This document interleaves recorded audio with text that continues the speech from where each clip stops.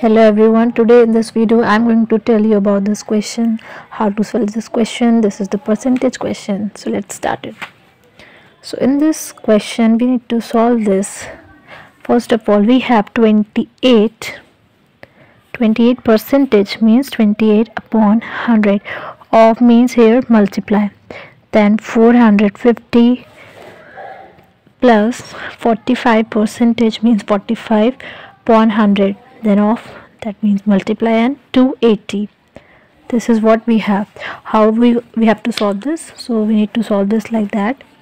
We need to cut 0 cancel 0 by 0 0 and 0 so we have 5 table. We can cut this from 5 table. 5 2 are 10 5 9 are 45 then we have 2 1 are 2 2 1 are 2 2 4 are 8 here we have are the same thing so we have to cancel this with 2 2 5 are 10 2 1 are 2 2 4 are 8 then what we have?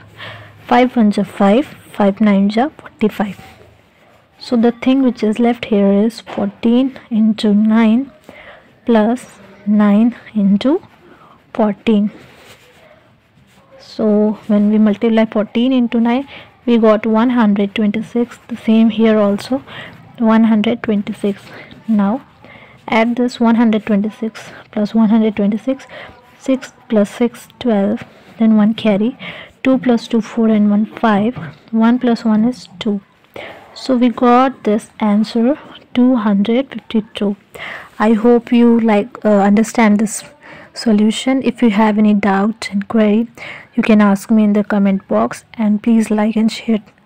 Subscribe to my video. Thanks for watching